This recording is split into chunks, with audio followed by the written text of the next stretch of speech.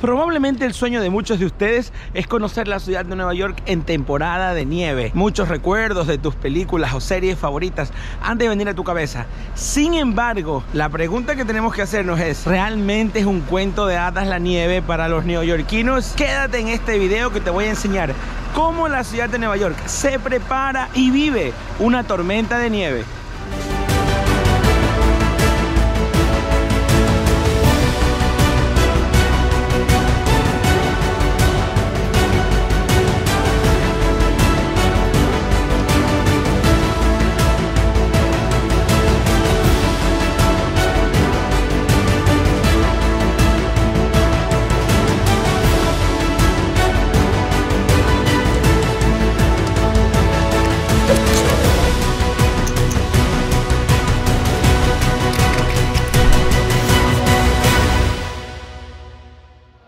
Bienvenidos a Discovering con James. Si es la primera vez que estás en mi canal, soy tu buen amigo James Mendoza y estamos una vez más recibiendo contenido sobre la ciudad de Nueva York. El día de hoy quiero que toquemos un tema que a todos nos gusta mucho. Seguramente hemos soñado con ver la ciudad vestida de blanco, la hemos visto en películas, en postales, de diferentes maneras. Sin embargo, la ciudad debe prepararse. Residentes y la ciudad misma en general, me refiero al municipio, se prepara para recibir estas tormentas. Y quiero que veas tú un poquito el detrás de cámaras de New York City antes de recibir una nevada. No te olvides de suscribirte al canal si no lo has hecho, dale like y síguenos en redes sociales donde continuamente seguimos la conversación y me entero de qué quieres saber sobre la ciudad. Todo empieza con el Departamento de Sanidad.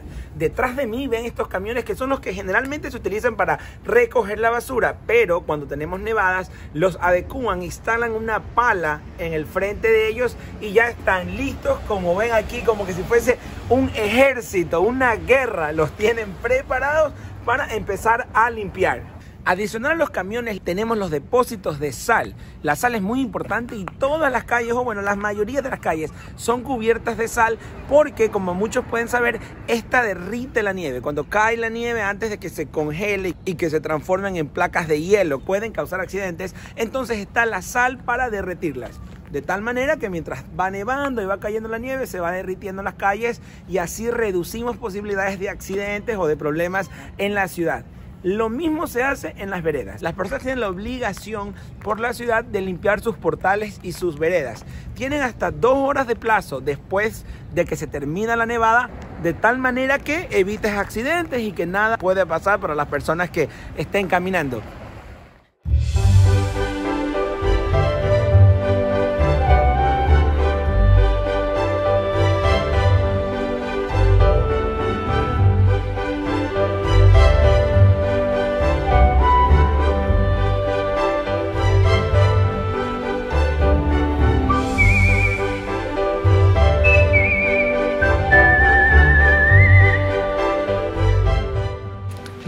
Días amigos, ahora empezamos, ya empezó a nevar desde anoche, hoy día estamos martes, primero de febrero y la nevada empezó anoche como les mostré, ya todo preparado para empezar, llevan nevando algunas pulgadas, tenemos programado aproximadamente 18 pulgadas si no me equivoco.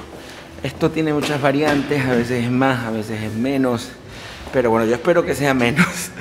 La nieve luce muy bonita y todo, pero uno de los retos son las escaleras, las veredas, todos los sitios en los cuales se acumula este hielo que ven aquí, que es muy difícil muchas veces para muchas personas.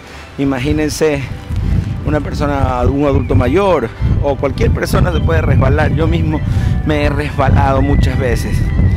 Siempre en las primeras horas de la mañana, después de una nevada o durante una nevada, pues las personas que tenemos que movilizarnos nos encontramos con este reto de patinar en la vereda porque aún no ha sido limpia. Entonces apenas está amaneciendo, son las 6.45 de la mañana y por supuesto no está todavía limpio. A pesar del esfuerzo de la ciudad por mantener las calles limpias lo mejor que sea posible, obviamente es difícil cubrir una ciudad tan grande como esta. Por eso otro de los retos durante las nevadas es este tipo de calles como ven aquí, completamente una capa de hielo formada sobre el asfalto, haciéndolo muy difícil y peligroso de transitar. Pero esto es lo que tenemos.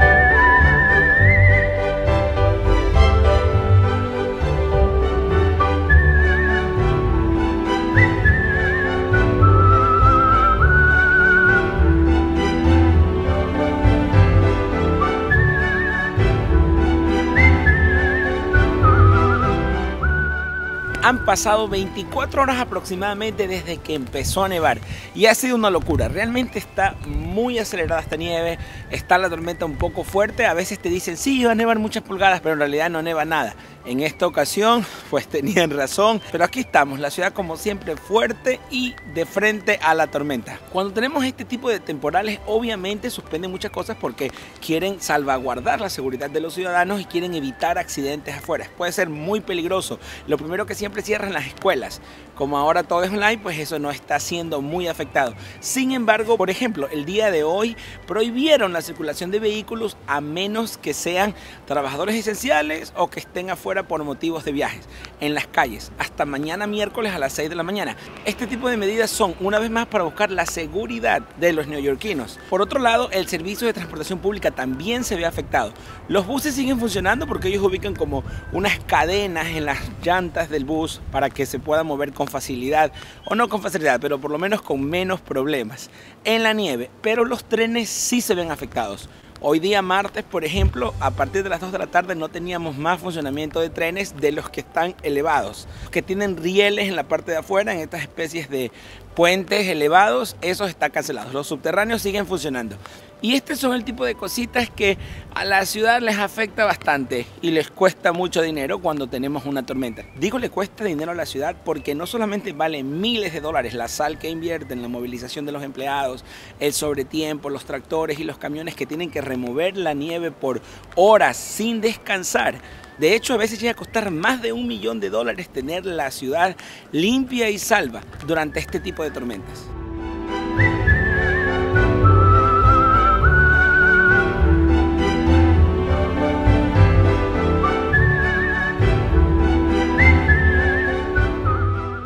Limpiar todo esto, mis amigos, no es tarea fácil. No solamente le cuesta mucho trabajo a la ciudad, sino también a las personas. Hay reglas para los residentes, dueños de casa o las compañías que administran edificios, que es lo que más tenemos aquí en la ciudad.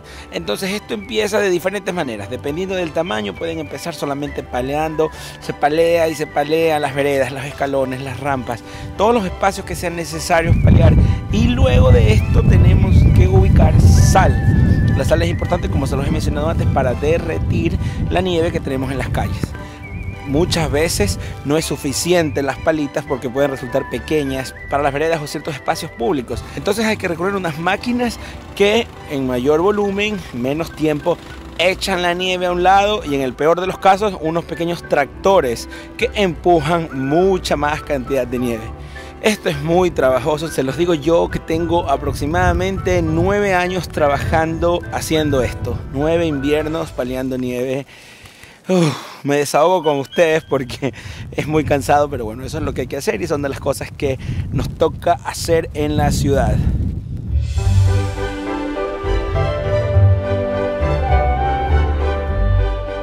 Los supermercados también se vuelven una locura. Yo no sé por qué las personas siempre que escuchan que hay tormenta piensan que se acaba el mundo y se recargan de compras y se llenan los supermercados. No sé, se me viene solamente y me parece importante mencionártelo si nunca has estado aquí durante una nevada. ¿Qué te parece la nieve? Después de todo esto que te estoy contando, igual te gustaría vivir aquí, igual te gustaría experimentarla. Yo creo que sí vale la pena vale la pena un poquito la molestia. A mí sí me gusta mucho la nieve. No me gusta palearla, pero me gusta disfrutarla. Otro problemita son los carros. Muchos de ustedes quizás no saben, pero aquí en la ciudad parqueamos los carros en la calle. No hay ningún problema. Si no tienes dónde parquear, que generalmente puede ser muy costoso, los puedes parquear en la calle. Cuesta trabajo conseguirlos, pero lo puedes hacer. El problema es que entre las personas limpiando sus aceras y la calle empujando la nieve hacia los costados para que puedan circular los vehículos, se convierte en una locura desenterrar los autos que como pueden ver aquí están literalmente enterrados en nieve. Yo no quiero imaginarme cómo está el mío.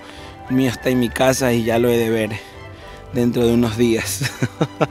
Pero esto es lo que pasa. Otro reto que enfrentan las personas que tienen vehículos y no tienen un parqueadero privado en donde poder guardarlos. Tienen que enfrentarse a esto. Imagínense en el trabajo para hacer un espacio y poder sacarlos de esas montañas de nieve y no solamente eso, los problemas que a veces causan a la máquina por las muy bajas temperaturas y por estar en estas condiciones, a veces por muchos días, dependiendo de cómo estén las tormentas. Qué gran trabajo de las personas que trabajan en delivery, siempre admiro eso. Están en contra de todo, contra viento y marea, ellos hacen su trabajo. Así que no se olviden de una buena propina cuando tengan su delivery y estén por acá. Lo bueno de esto, amigos, que aún así la gente se divierte. Muchos sufrimos un poco con la limpieza, el aseo y todo lo que ya les mencioné, pero muchos otros lo gozan al máximo. Yo veo niños haciendo muñequitos de nieve, Veo personas adultas jugando, se toman muchas fotos, los fotógrafos profesionales salen con sus tremendas cámaras a tomar unas preciosas fotos de la ciudad. Y sí, realmente le puedes sacar provecho, lo puedes disfrutar y una vez más la ciudad sigue mostrando una buena vibra aún con las congelantes temperaturas y el montón de nieve que podemos llegar a tener. Y eso a mí también me gusta mucho de la ciudad, que la nieve le da ese toque mágico. Y muchas personas, como les mencioné antes, quieren venir en estas épocas porque se ve fabuloso. Así que no te olvides de dejarme en el comentario qué te va pareciendo lo que estás aprendiendo, te gusta, no te gusta, qué otros lugares o actividades te gustaría que tratemos en nuestros videos. Síguenos en Instagram y en Facebook y allí siempre continuamos la conversación.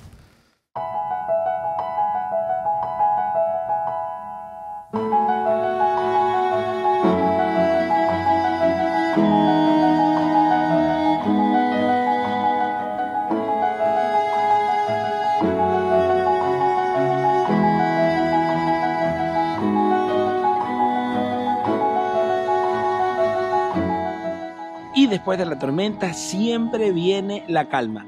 La tormenta ha terminado, todavía tenemos pequeños copitos de nieve que están cayendo, pero bueno, lo más grave ya ha pasado. Muchos de ustedes han de decir, yo veo más nieve en otros estados o en otras ciudades. Bueno, lo cierto es que una ciudad como Nueva York no puede darse el lujo de permanecer mucho tiempo con la nieve bloqueando por la cantidad de vehículos que se moviliza, por el tamaño de la ciudad. Es por eso que se hacen todos los esfuerzos que yo les mostré para limpiarla, para mantenerla bien y les voy a enseñar más o menos cómo está un día después de la tormenta. La mayoría de veredas están limpias, pero bueno, siempre nos queda majar un poco de nieve, le decimos nosotros.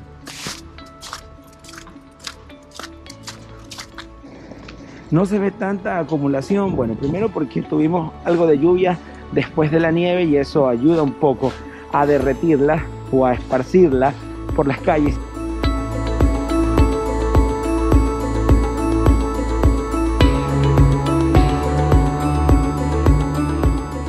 Y también porque se trabaja sin descanso durante la noche y la madrugada o temprano por la mañana para poder tener este resultado para la ciudadanía.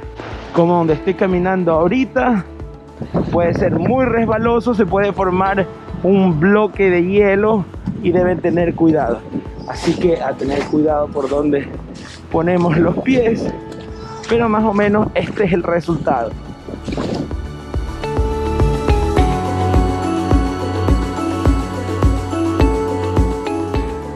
Y como pudieron ver en este video, amigos, la nieve no es cosa fácil tiene sus retos, tiene su costo, su precio elevado en trabajo físico y en dinero para la ciudad.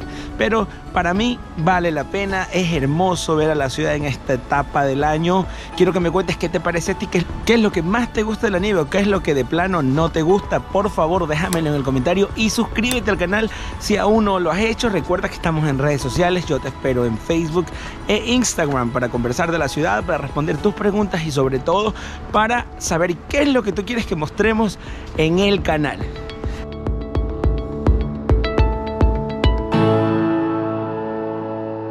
Y con esto amigos, no solamente hemos llegado al final del video de hoy, sino al final de la temporada. Por si no lo sabías, yo hago mis videos por temporadas para poder cumplir con los videos semanales, cada jueves, nuevo contenido creativo, con información que te sirva y que te guste sobre la ciudad de Nueva York. Así que entramos en una pequeña pausa, nos veremos dentro de un par de semanas o un mes con muchísima información. Mientras tanto, ponte al día con los videos. Si no los has visto, no te lo pierdas. Aquí te estoy esperando, como con la mejor información de la ciudad de Nueva York. Los voy a extrañar y nos vemos pronto con más de Discovering con James.